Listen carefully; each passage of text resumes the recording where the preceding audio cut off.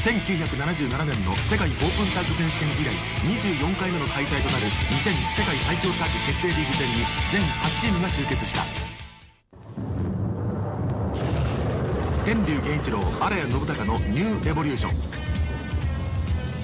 技のデパートミスタープロレス。天竜とタッグを結成しリーグ戦に出場する荒谷。全日本に新入団し将来のメインイベンターの頑張りが全てキーポイントとなるタッグチームである。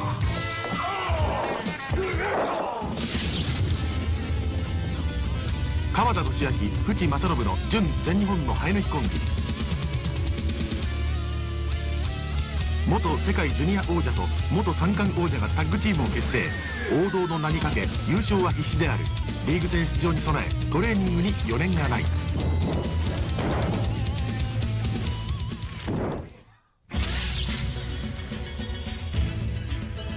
太陽ケアジョニー・スミスのチームザ・フューチャーの誕生だ。急成長の太陽ケアと試合巧者のスミス2人のコンビネーションが見事機能すれば十分優勝圏内に入るチームである。目が離せない。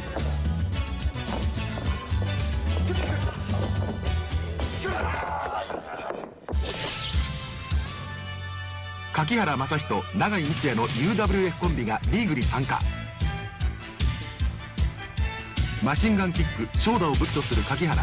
驚異の重いミドルキックを持つ永井。ビッグチャンスを手にしたチームストロングスは台風の目となるであろう。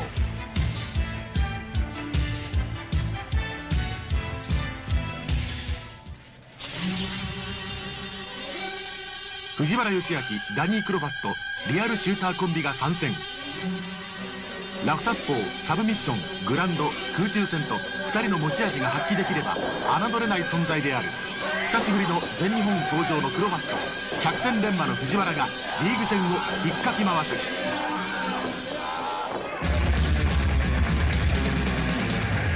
スティーブ・ウィリアムスマイク・ロトンドのバーティクラブが全日本マットで復活。1989年ロードウォリアーズを撃破し LWA 世界タッグ王者に輝いた全米暴れず最強コンビが新世紀に向け発進する。バーティクラブ21最も優勝に近いチームである。マイク・バートジム・スティールの大型ファイターコンビ。一撃必殺のゴールデンレフトバートン・ディザスター。ウルフ・ホークフィールドからジム・スティールに戻り本格的にトップを狙う。2人のスーパーパワーコンビの存在はまさにダークホースである。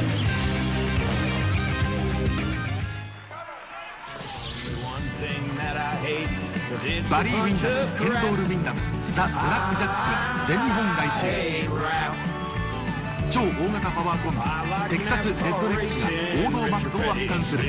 元 WCW 世界タッグ王者チームは最もコンビネーションの取れたチームである。確実にトップ戦線に取り出るであろう。以上豪華8チームが集結した20世紀最後の2000世界最強タッグ決定リーグ戦。11月19日後楽園ホールで開幕し12月6日札幌大会まで全28戦の総当たりリーグ戦を行いトップ2チームが12月9日最終戦日本武道館で優勝をかけ戦います。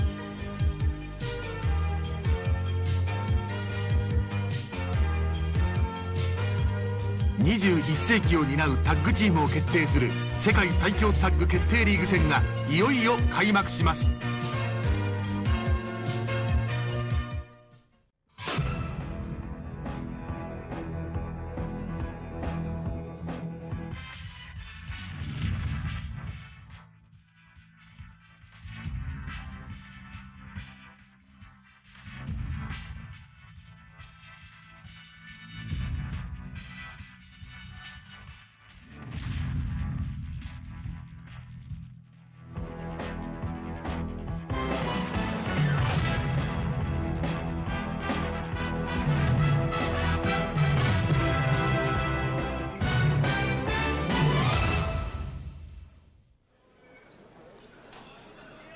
いよいよ全日本プロレス20世紀最後のシリーズは2000世界最強タッグ決定リーグ戦であります。開幕戦を迎えました後楽園ホール格闘技の聖地であります。さあ今リングの中央には2つの大きなトロフィーがありますが最終戦日本武道館大会でこのトロフィーを出演するのは果たしてどのチームなんでありましょうか。菊池さん、はい、まあとにかくその戦いの歴史があるこの世界最強タッグ決定リーグ戦なんですが。そうですよね、えー、昭和52年の世界オープンタッグ選手権から数えても24回になりますからね。えーいやブレアス会長も元気になりましたね。あの一時ちょっとヨレヨレになって危ないかなと思ってたんですけど、はいええまあ昔に比べて元気になりましたよね、はい、この人現役時代に力道山と試合やったの僕見てますけどね。そうですか。ヨーロッパ流のあのオーソドックスなテクニシャンいいレスラーでしたよなるほど。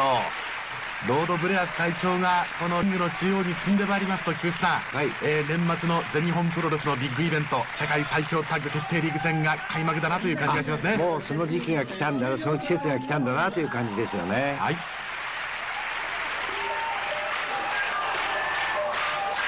さあお待たせをいたしました。2000世界最強タッグ決定リーグ戦開幕戦を迎えた後楽園ホール。まずは柿原と永井が入ってまいりました。さあ後楽園ホール手拍子が起こっています。そしてさあ入ってまいりました。大型ファイターコンビザ・ブラック・ジャックスケンドール・ウィンダムバリー・ウィンダムであります。そしてダニー・クロバットと藤原義明が入ってまいりました。1 8 6センチ1 0 5キロのダニー・クロバット。そしてジム・スティールとマイク・バートンであります。ジム・スティールはウルフ・ホーク・フィールドからジム・スティールと名を戻しての登場であります。太陽ケアとジョニー・スミス優勝戦線を虎視眈々と狙っています。さあバーシティクラブ21が入ってまいりました。スティーブ・ウィリアムスとマイク・ロトンド。不運のぼり流天竜源一郎。久々のこの世界最強タッグリーグ戦のバットを今踏みました天竜源一郎。そして準全日本コンビ淵正信川田俊明が入ってまいりました。8チーム16名のつわものたちが今格闘技の聖地後楽園のリングに登場しました。どうもありがとうございます。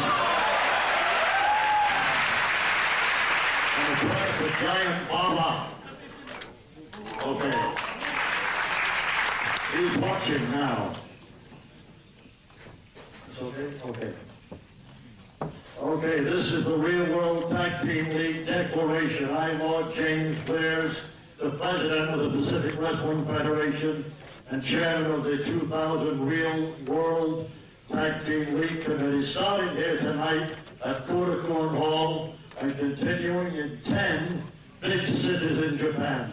There are eight tag teams participating in this league selected by the committee. Listen to this one. The grand prize 10 million yen. Million. I hereby declare this league now to begin, and may the best team win. President of the Pacific Wrestling Federation, or James Bliss. Thank you. どうもありがとう。2000世界最強決定リーグ戦は本日より12月6日札幌大会まで参加チーム参加8チームによる総当たりリーグ戦を行い公式戦全28試合を終了後上位となった2チームが12月9日最終戦の日本武道館で優勝戦を行います。なお優勝チームには賞金1000万円が贈られます。全国各地で繰り広げられます。熱戦にご期待ください。これをもちまして2回世界最強の決定リーグ戦入場セレモニーを終了させていただきます。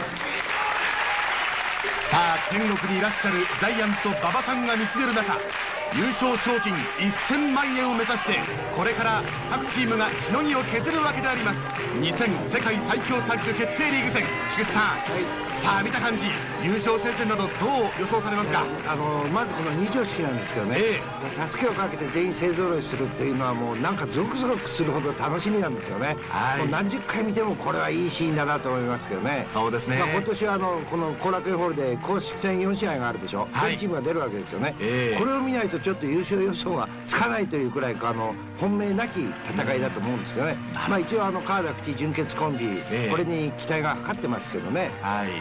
そしてまたあの外国人選手勢も何か目の離せない選手ばかりですね。そうですね、えー、あの正式なコンビというのはあのブラック・ジャック・マリナーの息子たちなんですけど、はい、バーシクラブもやはり昔は実績ありますからね。はいさあ一体どんな戦いが見られるんでありましょうか？これよりは公式戦をご覧いただいてまいります。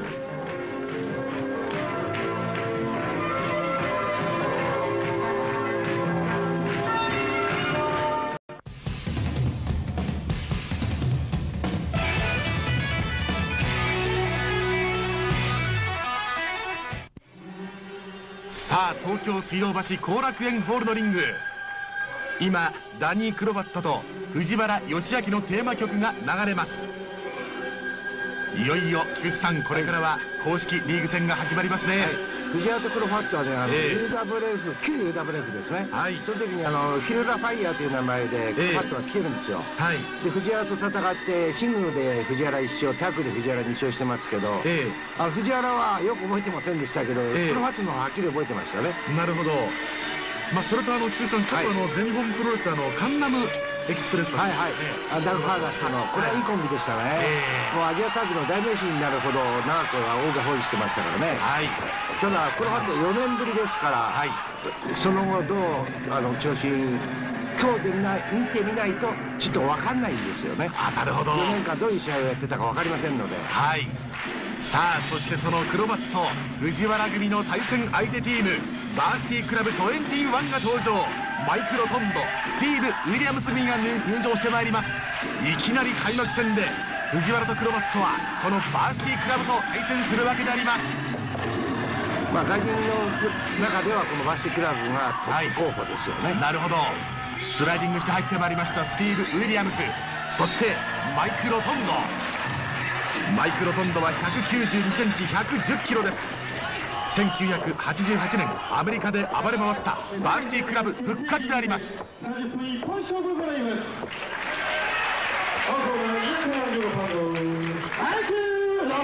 ードウォリアーズを破って AWA 世界王座についたコンビですからね、えー、もう11年前の話ですけど。はい。そして殺人医師スティーブ・ウィリアムズ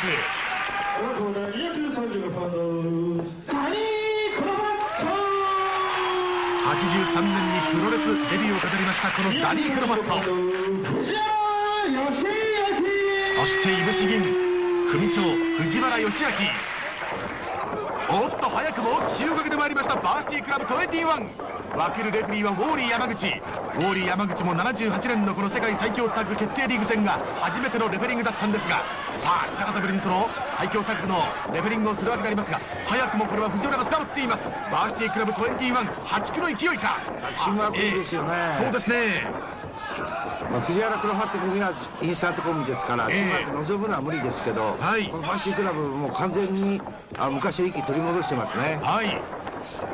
何かもうこのバーシティクラブ21から藤原義明悪の洗礼を受けています。後方回ってくるかしかしここはリングサイドにいたダニー・グロワットのそして合わせ技!バックドロップとネックブレイカーさあカウントはどうかカウントは2カウント。返しました。ダニー・クロバットのカットがなかったらちょっと藤原危なかったか。ロープに振られた。あっとここはテレプラ飛んでくる。さあ藤原義明が捕まってしまっている。全く岸さん反撃できませんね。そうですよね、えー、そして、タッチもできないでしょ。おっとこの技怖いぞ。なだれ式オクラホマスタッピードさあどうか藤原返せるか？カウント入ってしまう。おっとどうか？おースリーカウント。秒殺。バーシティクラブ21菊池さ。んいや驚き、えー、藤原が秒殺しかもフォールを奪われたんですからね。はい。ちょっとこのシリーズにクロバットと藤原は黄色い信号が早くも灯りましたね。バーシークラブはねあのそれの T シャツ着てきたでしょ、えー、それだけでも一様に分かりますよね。はい。何かもう開幕戦で勢いというものをバーシティクラブは菊池さんつけてしまいましたね。そうですよね。これは、えー、あの優勝候補、うん、まずトップでしょうね。この勢いでいけば2人の息ぴったり合ってますからね。そうですね10年のブラック感じさせないですよね。はい。このシリーズ最も怖い存在になってしまったことは確実です。バーシティクラブ。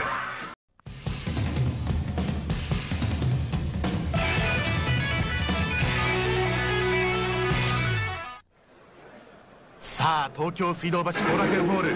先ほどのバーシティクラブ21の暴れぶり、まあ、そのまだ余韻がある中。さあ次の試合を迎えています。公式リーグ戦30分一本勝負。場内にマイク・バートンのテーマ曲が流れます。これよりはジム・スティールマイク・バートン組の入場を迎えます。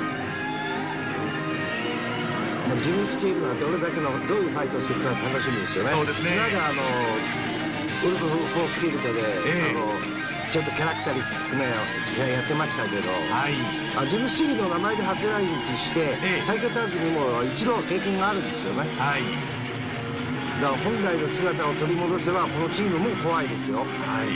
まあ、バートはもうジョニー・ウスと別れてから、えー、ものに本領発揮してますからね、はい。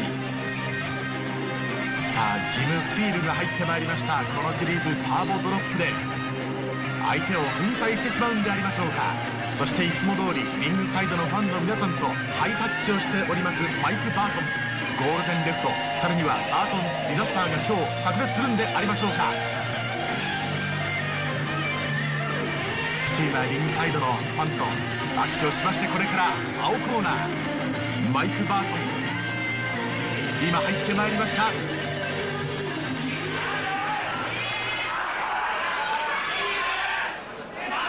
そしてこれからは永井光也柿原正人の入場を迎えます。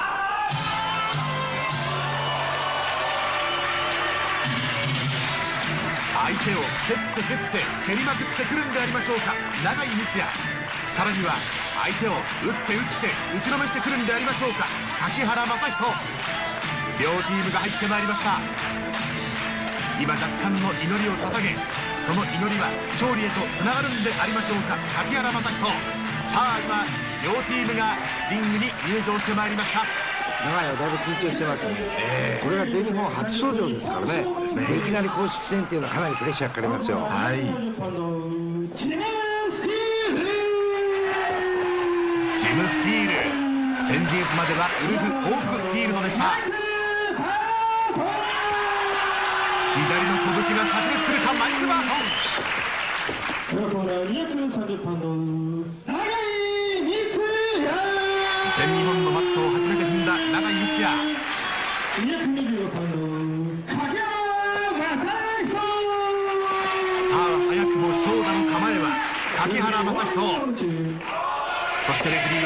ォーリー山口であります。永井そして柿原コンビに取りまして大きな相手ジム・スティールマイク・バートン。そして今柿原がレフリーチェックを受けているところであります。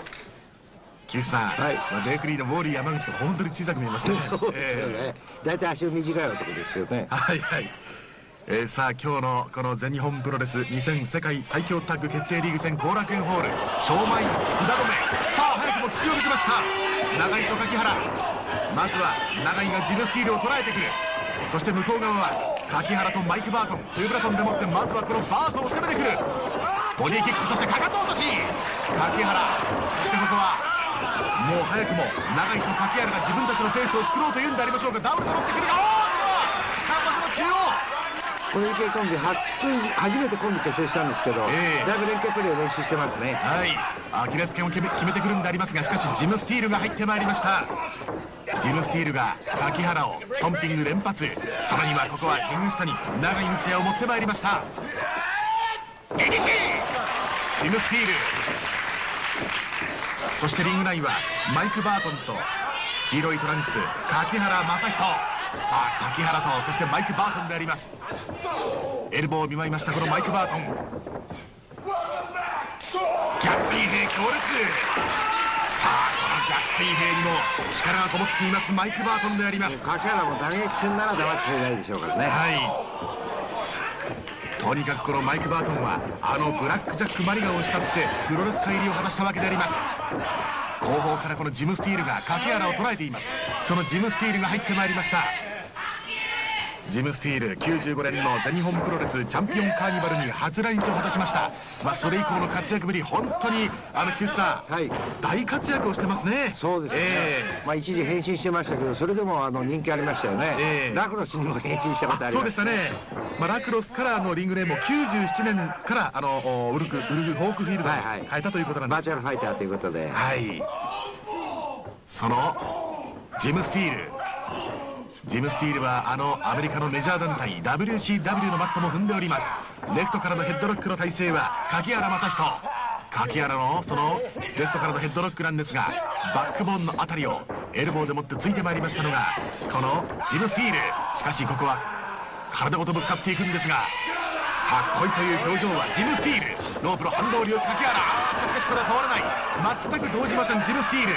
体格の差ですよねはいハイキックハイキックちょうど胸板の辺りですからこの蹴り技もハイキックロープで振った帰ってくるところをクローズラインかいくぐってきたさあこれはどうかレフトからショルダーアタック何かもうドライのように来ましたこのジム・スティールのレフトからのショルダーアタックでありますちょうど柿原の後頭部の下の部分を襲ってまいりましたがしかしコーナーマット付近赤コーナー自軍コーナーに押し込んでまいりました柿原。その柿原から長い道屋にスイッチしたわけであります。長井が入ってくる。長井とジムスティールの局面を迎えています。菊池さん、はい、まあ、この長井と柿原ペアには強烈な蹴り技があるわけなんですが、はい、まあ、それで今日のこの大きなジムスティールバートに通用するかどうかなんですね。そうなんですよね、えー、もう少しローキックを使った方がいいと思うんですけどね、はい、ハイキックよりは外人にはローキックのが効くと思うんですよ。なるほど。まあ、胸板のあたりとにかくもうその筋肉がびっちりこうついてますからね、はいはい、今菊池さんのおっしゃったように、まあ、私もそう思います。ローキックでもって相手のバランスを崩してそしてペースをつかんだ方が長井と柿原コンビにとりましてはその勝ち星を作るのは必死かとおっとカウントが入ってくるかどうかカウント1であります。全日本の外国人レスラーっていうのはあまりローキックの洗礼浴びてないですからね、えー、かえってあの効き目あると思うんですけどね、はいさあ永井光也のボディのあたり2位を見舞ってまいりましたこのジム・スティール。今もその顔面めがけてエルボーに行くぞと見せかけていってのボディーブローであります、はい、このジム・スティール。2位を見舞ってまいりました。何かその膝についている筋肉ごと当たってきたというそんな感じでありますが長井はエプロンからリングした。さあここバートン追ってくるか。マイク・バートンリングした。フェンスに激突長井はまだラファイトに慣れてませんからね。あそうですね。やはりあのパンチそれからまたキックでもって戦ってる選手ですからね、はいはい。まあ、バトラーズでかなりプロレスは覚えてますけどそれでも全日本のスタイルと違いますからね。はい。エプロンからリング内。片指これはどうか。カウントは2カウント。返しました。ジム・スティールとそして永井光也長井もちょっとスタミナが心配なんですが。今の場外乱闘で完全に外人ペースになりましたね。ああ。ニュートラルコーナー走っていってラリアット。ジム・スティールのその隆起している筋肉が長井の喉元の辺りを襲ったわけであります。走り込んでいってのラリアット。これはかなり効きました。DDT これどうかカウントは？2カウントですここはもう菊池さん、はい、早めにもうスイッチするようにしなくては長い危ないですね。やっぱりあの長いタッグマッチも慣れてませんし、えー、ここちょっと息が上がりかけてますから、はい、早めに掛け原につながないと危ないですよ。はいやはりそのパンチキックでもってここまで活躍してきた中にとりましてレスリングいわゆるそのタッグ戦になってはどうかというその辺りは克服してほしいところでありますがマイク・バートンが入ってまいりました。マイク・バートンさあこれを捉えてくる。捕まってしまった。あっと危ないぞ。強烈なこのパワーでもって持ち上げた。さあ滞空時間の長いブレンバスターを長井が食らってしまいます。初めてもちろん食らってしまいます。さあマイク・バートンまだここは粘っていますマイク・バートン。ブレンバスター。さあ永井光也危ない危ないどうか。柿原が入ってまいりました。今柿原のカットがなければカウント3は菊池さんいけてましたね。いましたね。あまあ柿原そういう点はかなりこなしてますからね。はい。あのラリーのタイミングがいいですよね。はいここはもう相手のその隙を捉えて早くコーナーに免れる体勢を作らなくては長い道はいけません。ボディスラムを食らってしまいました。さあジム・スティールどうするか？右の足そして右の足を捉えこの体勢からジム・スティール捉えてきてシーソーホイップおっ突っ込んでいったところに。いつ合ってますね。はい。バートンの足が待っていました。バックを取った。バックドロップ長井光也危ないぞ。あーっと一番いいキャンパスの中央あっとカウントは本当ーカウントです。長井もこれだけの落差の大きいバックドロップ来たことあまりないでしょうからね。はい。ジム・スティールが柿原に今攻撃を仕掛けてまいりました。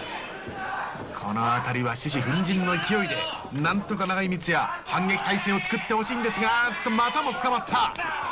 マイク・バートンのボディ特に左の脇腹でしょう。あの辺りを蹴られております長井光也そその長井光也がボディスラムを食らった。バートン飛んでくるか。この位置からだとダイビングエルボーが待っていた。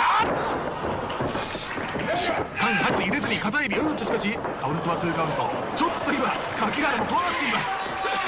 エプロンからリングしたタッグマッチの鉄則はナットローンバトル一人で戦うなというのが鉄則なんですけど、はい、野谷も完全に一人で戦わされてますよね。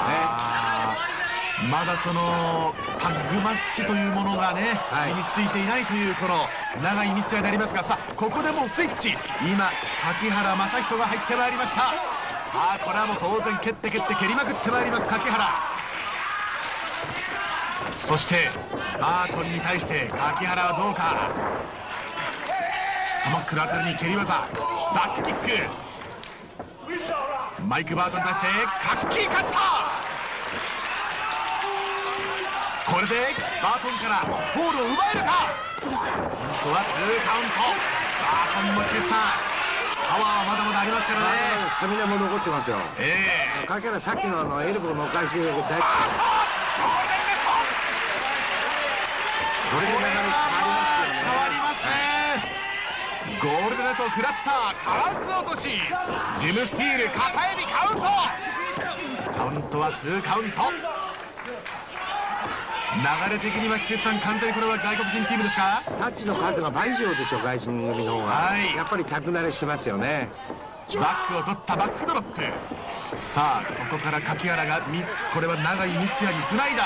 さあ長井。ここで柿原が作ったペースをそのまま持続させて勝利を奪うことができるんでありましょうか。トゥープラトンでもってジムスティールを送り込んできた。まずはエルボー。そして2位を見舞ってまいりました。永井光也。ジムスティールをトゥープラトンでもってここは捉えようという。永井。そして柿原。勝ち上げた。さあかなりカウントはどうか。トゥーカウント。ジムスティールも完全に返してくる。さあここは嬉しい逆十字アームバーに捉えてくる。さあここはジムスティール。あっとバートンが入ってきた。バートン猛点痛撃。長い見せ場だったんですよね。はい。エルボー見舞ってまいりました。足を引っ張ったのはリング下から柿原。柿原がバートン捉えている。さあ長いここはなんとか勝機到来となるんでありましょうかダブルスレッジハンマー後頭部そしてジムスティールに2位を見舞ってくるロープの反動を利用した。あ捉えられた。あ間違いないさあバックアウトやった左の手が上がりました。永井光也。試合は始まってから10分を経過しています。ジムスティールがここはペースを作ってきた。今トップロープ最上段登ってきた。ジムスティール。長い道が起き上がってくる。さあここはどうしてくるか。レフトから。ダイビングレフトショルダー。エビ固めカウント。2カウントです。長い道也なんとかスタミナを。ここは保って。柿原にスイッチをしてほしいところなんですがちょっとまだ捕まっている。ジムスティールには勝機到来か。柿原入ってくるがダメ。柿原がすでにもエルボーを奪われてしまいました。ボディを蹴られた。さあジムスティール。あっとここでターボドロップになるかさあジムスティール捉えた。かばったぜ片指カウント。スリーアウトジムスティール長い道を長いのスタミナにちょっと不安がありますね。はい。とにかくここはまず初戦を白星で飾りました。ジム・スティールとマイク・バートンです。あのやはり永井と柿原に若干その押された部分もありましたけどもすぐそのペースを取り返しましたね、はいはい、やっぱりあのタクナレと、はい、あの初コンビでまだ永井がタッグに慣れてない。だからタッチも少ない。どうしても1人で戦ってしまう。それでスタミナを失ってしまうというケースですよねまあでもこれ初登場ですから、はい、あのだんだん全日本のリズムに慣れてくればもう少しあの動きが違ってくると思いますけどね。なるほどね。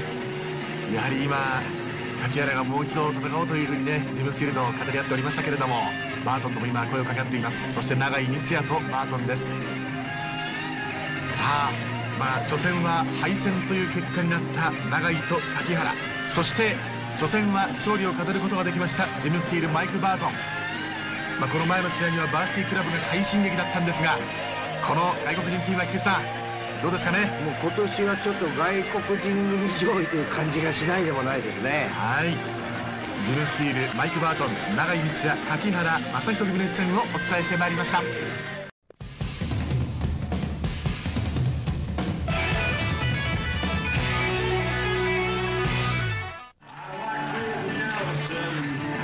まずはバリー・ウィンダムが先頭そして後方からはケンドール・ウィンダムです。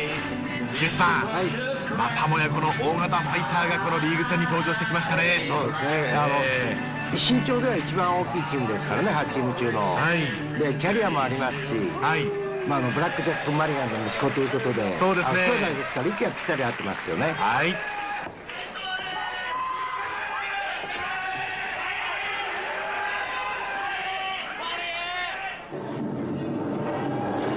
そしてこれからは荒谷信孝天竜源一郎組が入場してまいります。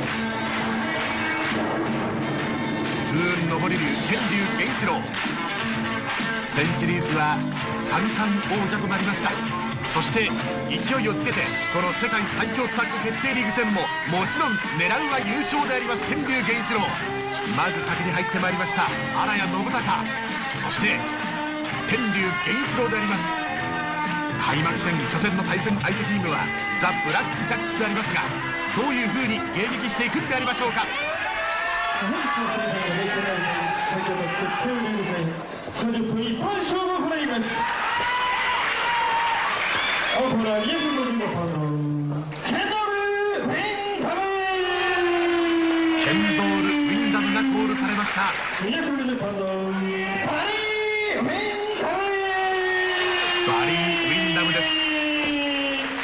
発が風になびいています。パワ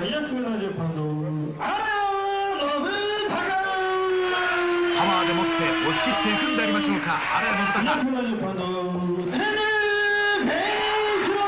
気合が入ります。天竜源一郎。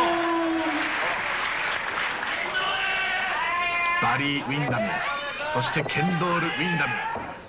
長身ファイター。さあ今握手をしたんですが離しません。天竜源一郎とケンドール・ウィンダム。どちらが先発になるんでありましょうか。ケンドール・ウィンダム。分けるレフリーは和田恭平レフリー。ケンドール・ウィンダムは1967年生まれテキサス州スイートウォーカー出身。そしてバリー・ウィンダムは1960年7月4日生まれです。キュッサーのケンドール・ウィンダムなんですが、はい、あの全日本プロレスにはあの92年の世界最強タッグに、はい、えー、参加しましたけれども、はいはい、まあ、その時から比べますとやはりパワーももちろんついたことだし、はい、目が離せませんね。そうですね。あバリーもあの一応実績は AW 世界チャンピオン取ってますしね、はい、ただケンドールの体は張ってますけどバリーの体はちょっと練習してないんじゃないかなという感じですね。なるほど。試合をやってないのか、えーお父さんは今お話がありましたがブラック・ジャック・マリガンそしておじさんにビッグ・マードックというね、はいはいあマリガンが初来日した時はボブ・ウィンダムという名前で国際プロレスに来てるんですけどね、えー、今この兄弟はウィンダム兄弟名を名乗ってますけどこれは本名ですよね、はい、77年の1月プロレスデビューを飾りましたバリー・ウィンダム。93年頃には WCW マットで活躍しておりました、まあ、得意技はジャンピング DDT というんですがね。はい。その得意技を果たして荒谷か天竜かどちらかにかけることができるんでありましょうか。バリー・ウィンダム前世紀は綺麗なファイトするいいレスラーだったですよね、えー、まあ今ちょっと峠を過ぎかけてるかなという感じ受けますね。そうですか、はい。2メートルを超す長身大型レスラーでありますこのバリー・ウィンダム115キロ。そのバリー・ウィンダムから今195センチ105キロのケンドール・ウィンダムにスイッチされました。ケンドール・ウィンダムは98年の8月23日には、まあ、その兄バリーと組みまして WCW 世界タッグ王座を手中にいたしましたそのコンビネーションでもって果たしてこのシリーズを乗り越えられるんでありましょうか？ケンドール・ウィンダム。そのケンドール・ウィンダムに捕まりかけておりますのが荒谷信孝荒谷ここここはどうか？返してくるか？ショルダースルー。荒谷信孝。そして後頭部の辺りにパンチを見舞ってまいりましたこの荒谷信孝です。その活躍ぶりを今赤コーナーマット付近で天竜源一郎が見つめる中その天竜源一郎入ってきた。そして天竜源一郎とケンドール・ウィンダムの局面を迎えています。トゥープラトンでもってここはレフトアタック。さあ天竜源一郎の強烈な左の肩口からのアタック。あれは右から当たっていました。そしてここは相手に休む間なくスリーパーでもってスタミナをまず奪おうというんでありましょうかこの天竜源一郎であります。天竜源一郎も1000シリーズのあの最終戦での、えー、三冠のベルトをかけた川田との戦い。岸さん、はい、すごい歴史に残る戦いでしたね。そうですよね、えー、武道館という大舞台で復活を完全に飾ったわけですよね。全日本復活を、えー、はい。そしてここは逆水平ものすごい音を立ててちょっとこれは天竜聞いたか？苦悶の表情は天竜源一郎か？ケンドール・ウィンダム。ここはグーパンチで来る。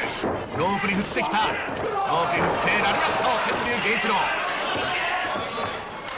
そして天竜から荒谷にスイッチ。荒谷がここ左の脇腹の辺りを蹴ってまいりましたがしかし顔面かきむしった。ケンドール・ウィンダムからバリー・ウィンダム。胸板の辺りからその腕の付け根の部分を蹴り込んでまいりました。バリー・ウィンダム。まあ、2メートルを超す長身なんですがこの2メートルを超す長身からそのジャンピング DDT あるいはまたスイング DDT を食らったらこれはやもたまりませんね。落差もありますしね、えー、DDT ってのは自分の体重で痛めますからあらやちょっと体重がありますからね、えー、荒谷がここはバリー・ウィンダムに捕まった。そして今度はケンドール・ウィンダムが入ってまいりました長身コンビに捉えられた荒谷まあその荒谷のスタミナ面なんですがやはりその、えー、長時間タッグ戦でリング内に入っていますと荒谷のスタミナもちょっと気がかりなんですが。まあ、ちょっと肉がつきますけど、えー、最近ものすごく強く練習してますからね、はい、スタミナの点はあまり不安ないと思うんですよ。はい、だからケンドールは体調良さそうですね。バリよりはるかにいいですよ。はいここは投げを狙ってくるか起き上がって顎砕き。荒谷信孝の顎砕きを食らってしまいましたのはケンドール・ウィンダム。しかしおっとここはパンチ合戦になるんでありましょうか。顔面をかきむしりこの小さい反則殺法でもって切り返してくるのがケンドール・ウィンダム。そしてケンドール・ウィンダムからバリー・ウィンダム。ボディーブロー。ライトからの強烈な拳打ちがボディに炸裂してしまいました。DDT そして抑え込んだカウントはどうか？カウントは2カウント。バリー・ウィンダム。そしてここは天竜。さあ天竜が入って逆水平。そしてまだこれは荒谷が入っておりますがこれはタッチしています、はい、ちょっと荒谷はどうした？ペースをつかめないか。いや連携プレーのミスですね。あなるほど。走り込んでいってのレフトからのラリアット。さあ今度は天竜。あっとしかしその荒谷が捕まった。あここはちょっと荒谷後方のケンドールにもやはり目を、えー、言ってなくちゃいけませんでしたね。まあまだちょっと天竜に比べれば若いということですよね。はい。そしてボディスラム。大きな体バリー・ウィンダム。セカンドロープトップロープ登ってダイビングエルボー。天竜源一郎片指固め。さあここはどうか？カウントは2カウントです。やっぱり日本組はバリーを狙ってますね。はい。顔面をかきむしってそして自分の青コーナーに持ってまいりました。ケンドール・ウィンダムが控えている。あっとここは目の辺りに手をかけていますのがバリー・ウィンダムそしてボディーブローかいやここはブレストの辺りをついただけロープの反動を利用した。レフトからのラリアットダイビングラリアットカウントはどうか。カウントは2カウントです。ケンドール・ウィンダムとそして天竜源一郎。天竜もその、え、序盤戦で見せたあの逆水平合戦で強烈なその逆水平をケンドール・ウィンダムに食らった瞬間苦悶の表情を浮かべました。やはりこのブラックジャックスもパワーという面では十分ありますね。ありますよ。ましてケあののパワーすごいですよね。はい。天竜もその逆水平もらったらすぐに返せるんですがちょっとこれ回りますもんね、はいはいはい、これです。こんなに天竜は普段まま作りません。ナックルから今度はバーリー・ウィンダムが入ってくる。初戦でもって苦戦を強いられておりますこの天竜源一郎。さらには荒谷望誉天竜の胸板がちょっと赤くなってますね。もうハワイで真っ黒に焼いてきたんです。はい、それでも目立ちますね。ええ。ー、ちょっとここ天竜グーパンチから逆水平きついか。バーリー・ウィンダムには効いてなさそうです。そんな中荒谷望誉にスイッチ。荒谷がここは逆水平狙ってくるか。しかしチョップを出しながらニュートラルコーナー押し込んできた。さあ押し込んできてフライングメイヤーリングの中央ですがあっと今ちょっとニーかエルボーナックルかどちらかにしようかなと思ったんでしょうか荒谷開幕戦ということでまだちょっと荒谷信孝にはうんペースがつかみきっていないかなというそんな感じが菊池さん。まあ天竜とのコンビも久しぶりですしね、はい、まあ初の公式戦ということでいくらかプレッシャーもあるでしょうしね。なるほど。カバーの体勢ですがカウントは1であります。このバリー・ウィンダムさあバリー・ウィンダムがここバック捉えてくるか。強烈なこの体勢からのバックドロップ。後方に投げてまいりましたのがバリー・ウィンダム。バリー・ウィンダムからケンドール・ウィンダム。ケンドールが入ってくる。ちょっとこれ荒谷苦しい。口を開いて息をしておりました。荒谷望誉。かなりもう汗をかいております。荒谷天竜が入ってくるんですがしかしバリー・ウィンダムケンドール・ウィンダム。円髄さあバリーがここは天竜を捉えてくる。エプロンからリング下後楽園ホールのリングサイドでもっての。場外乱戦。バリー・ウィンダムとケンドール、うん、バリー・ウィンダムと天竜源一郎。ケンドール・ウィンダムを捉えてくるか荒谷さあそしてキャンバスの中央ボディスラム。荒谷信孝。さあそしてムーンサルトに行くか。荒谷信孝。平成の生傷男が飛んできた。抑えたカウントはとしかし。バリー・ウィンダムカット。さすがにタッグはうまいですね。これで決めなきゃいけないとこですよねあれ、えーあれがちょっと捕まってしまうのか。あっとここはトゥープラトンでもってコーナーマットにターンバックルの辺り乗せられた。そして今天竜源一郎にバリー・ウィンダムがパンチを仕掛けてくる。何を見せるかケンドール・ウィンダムなだれ式のバックドロップ怖いぞあっとこれはどうかトゥープラトンでもってしかし天竜がこうカット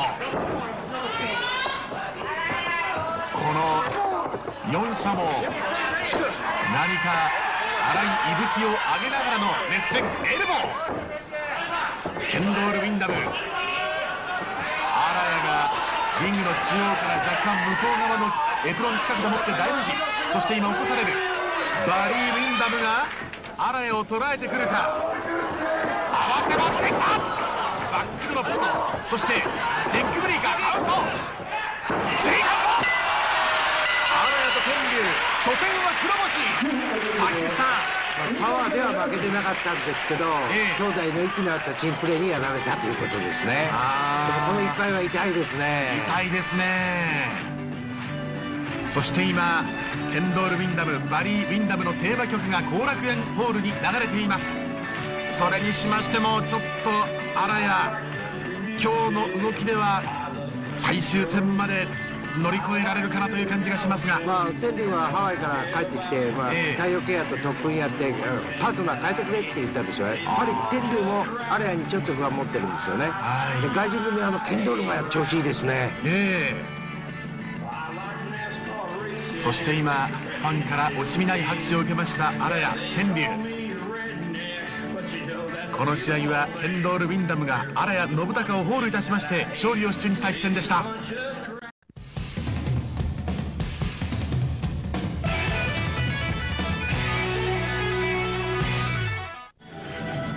さあ天竜源一郎が荒谷信孝と組んで先ほどはケンドール・ウィンダムバリー・ウィンダムのパワーに押されてしまいました。さあ今度の対戦はどうでしょうか？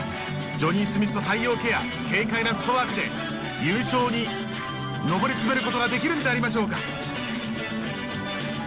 ジョニー・スミス太陽ケアレスリング校舎同士のチームとなっていますがこれから入場してまいりました。さあジョニー・スミスと太陽ケア後方からがジョニー・スミスそして太陽ケアであります。今後楽園ホールのリング登場してまいりました。このコンビはね外国籍の全日本代表だと僕は思ってるんですよね、なるほど。で今度出てくるのが純国産の、はい、全日本代表ですからね。そうですね。この開幕戦を前にして淵正信は語っていました。とにかく俺たちは今一番輝いているチームだと絶対に優勝してやるんだとそう豪語しておりました淵正信。そして川田俊明です赤いジャンパーを着用して入場してまいりました淵正信。情熱的な真っ赤な赤。そして川田俊明。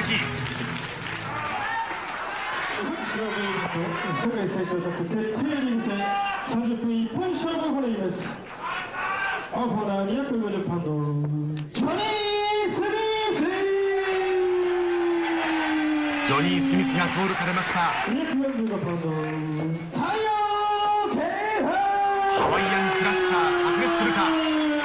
太陽ケアコーナー235パウンドプチマサノブプチマサノブ245パウンド川田俊明デンジャラス系川田俊明です和田恭平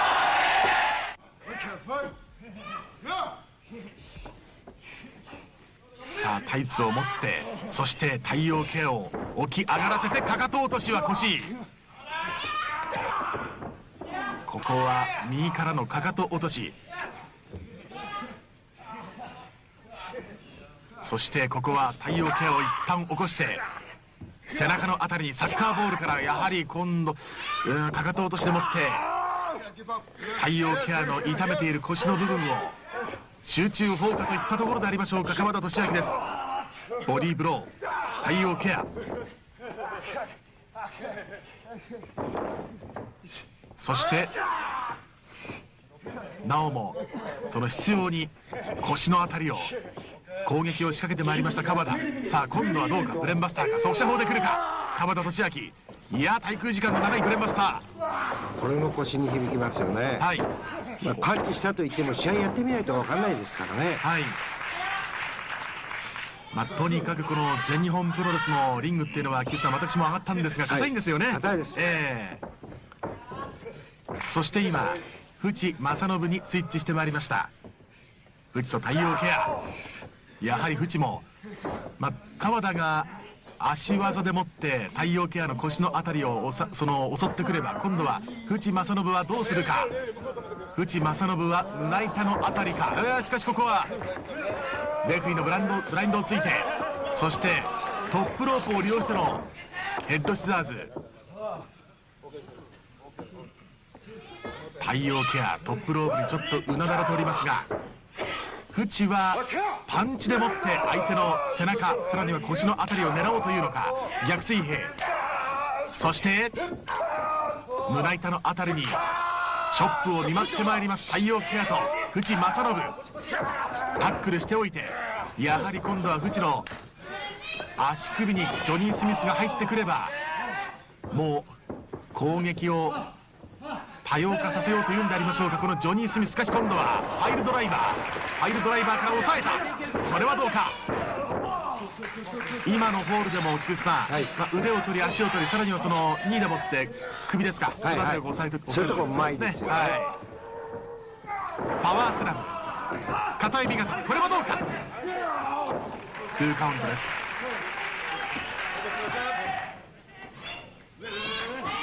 そして今ジョニー・スミスがセカンドロープトップロープ今登ったところでありますがフチに対してミサイルキック腰のバネを利用してぴょんと跳ね起きましたジョニー・スミス。ラリアット。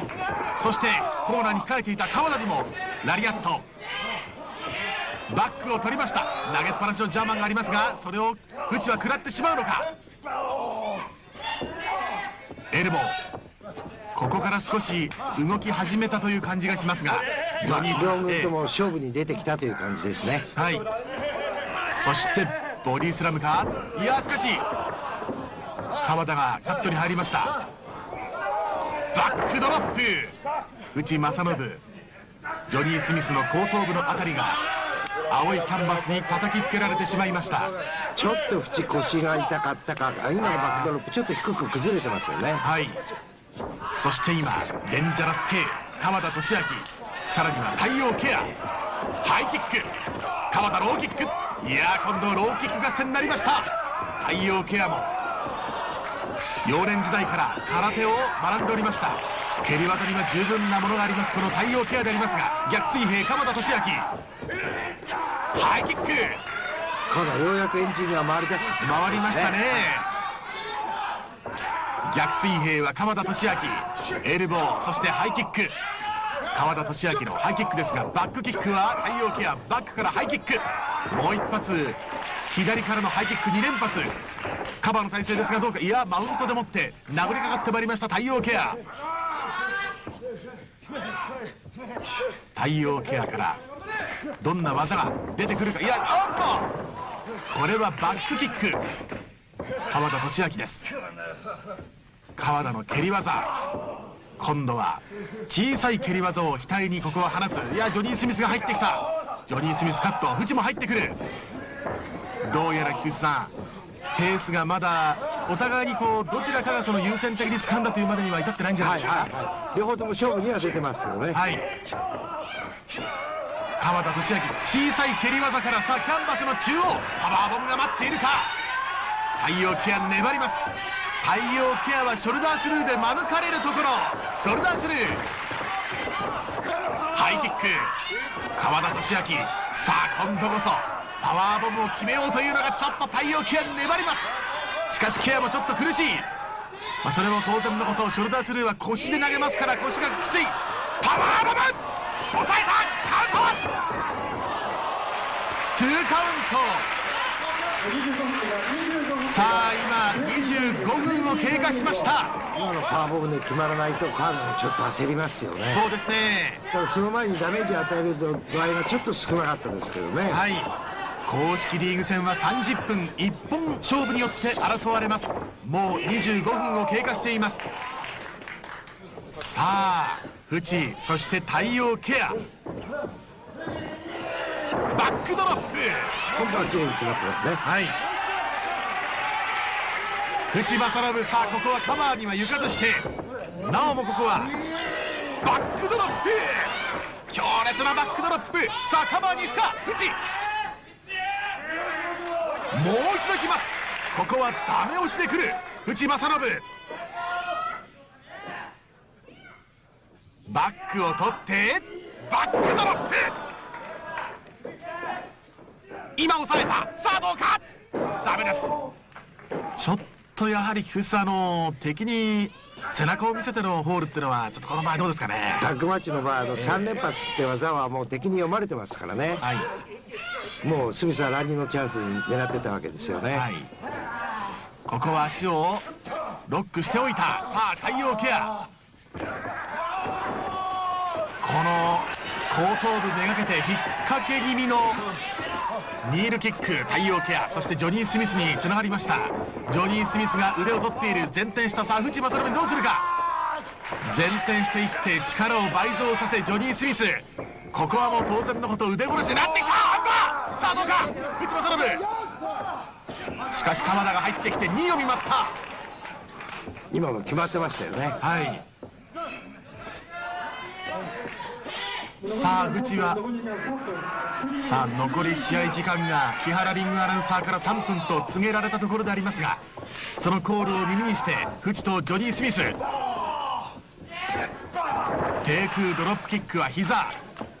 藤正信から川田さて川田とジョニー・スミス。もう3分を切りました。時間がありません。この公式リーグ戦30分一本勝負。さあ出た出たストレッチプラム今ストレッチプラムなんですがさあジョニー・スミスどうか。ストレッチプラムが決まった。これは藤がカットに入ってくる。太陽系はカットできない。片指型でカウント。どうか。ただ汗の量が多いんでストレッチプラムが滑ってるようなはい。さあストレッチプラムリングに咲く梅の花。これはどうか？開幕戦後楽園ホールで梅の花が咲いています。川田利明。さあもう時間がない。このまま粘るかジョニー・スミス。堅忍不抜といったところジョニージョニー・スミス。ロープ際なんですがしかしそこまでエスケープできるかジョニー・スミス。ダメか？ギブアップを奪えるか。まだ梅の花が咲いています。あーっとブレイクかな汗で力いっぱいねじ切れなかったということでしょうね。なるほど。ジョニー・スミスもしかしくっさん粘りますよね。まあ粘り強さもこのね、ー、はい。さあカウントどうか。サードロープ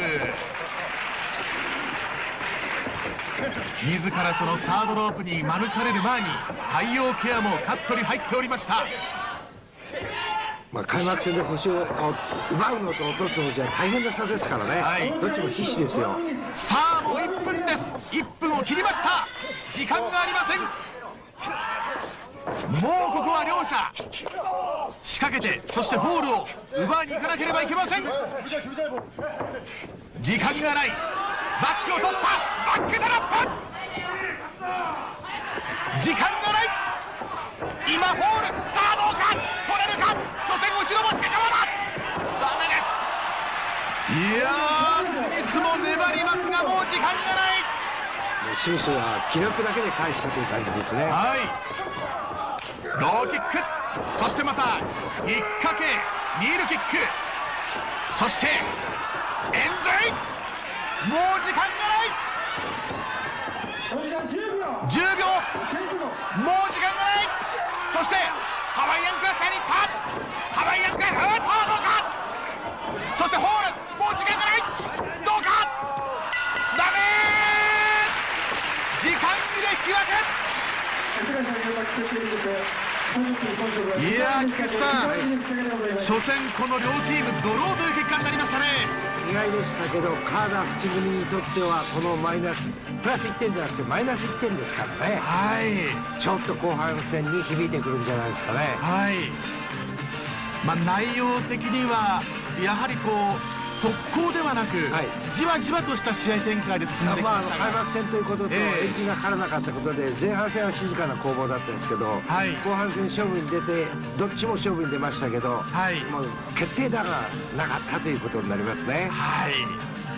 そしてこちらはジョニー・スミスと太陽ケア組なんですがもっとその速攻で行く両者なんですが、はい、しかし相手がどしっとしたレスリングを展開したんでちょっとそれに合わせたかなという感じも、前半戦、カーダもグラウンド行きましたし淵谷も得意のグラウンドで行きましたんで、はい、どうしてもそれのペースに引きずり込まれたというところありますね。はい。えー、さあ今日開幕戦、えー、リーグ戦公式リーグ戦は4試合行われましたがちょっと簡単に振り返っていただきたいんですが、はい、どうでした？まああのえー、第1試合に出たバーシティクラブですか、はい、あれすごい勢いですね、えー、とにかく藤原組長を秒殺でフォールっていうのは大変なことですよ。はい。あのウィンダム兄弟、はい、あれもあのケンドルが元気ですね。そうですね。これもあの面白いでしょはい。まあ、今日その第1戦開幕戦を終えたわけなんですがその勢いを保ったまま第2戦第3戦とそして最終戦へつなげていくわけなんですが一体どうなるんでありましょうか？ここまでの戦績です。苦境に立たされた天竜荒谷組は4戦を終え勝ち点2川田淵組は5戦を終了して勝ち点6太陽ケアスミス組は無敗の勝ち点8柿原組藤原組は共に勝ち星なし。ウィリアムス組も勝ち点8で優勝戦進出最有力。バートン組は勝ち点6残り3試合で優勝戦進出をかける。ウィンダムスは残り2試合全勝を目指す。20世紀最後の世界最強タッグ決定リーグ戦。後半戦はますますヒートアップ。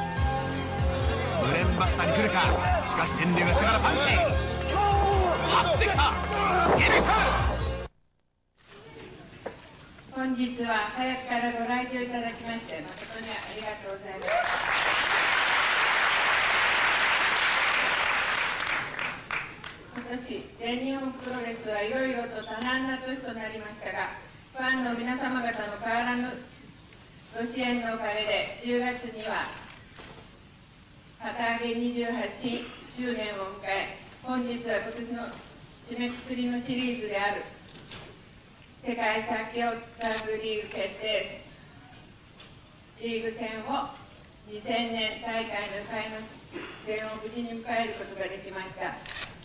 これもファンの皆様のお支えのおかげと選手社員一同深く感謝しております。本当にありがとうございます。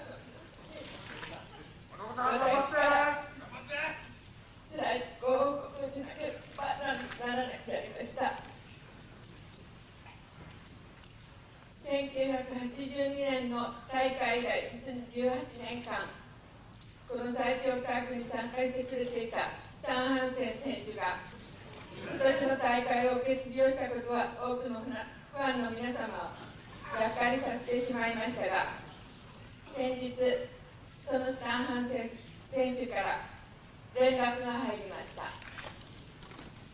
スタン・ハンセン選手は10月シリーズを終えて帰国を早速医師の診断を受けた結果膝の状態は想像していた以上に悪くこれ以上レスラーを続けること。困難という悲しい診断がされました。この結果を受けてハンセン選手からは来年1月28日の東京ドーム大会で自分の引退セレモニーをやってもらいたいという申し出が私のもとに届きました。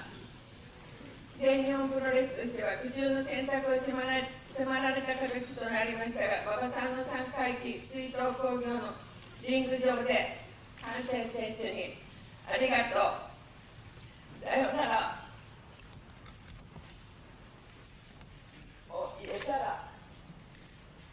馬場さんも喜んでくれるものと考え来年1月28日の東京ドーム大会は馬場さんの3回忌追悼と合わせてスタン・ハンセン選手の引退興行も一緒に行わさせていただくことに決定いたしました。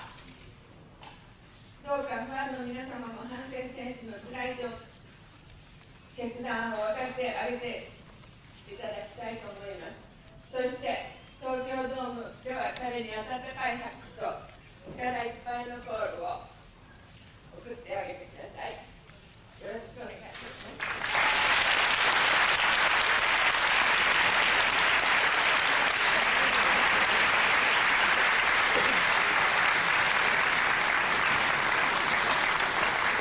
ご清聴ありがとうございました。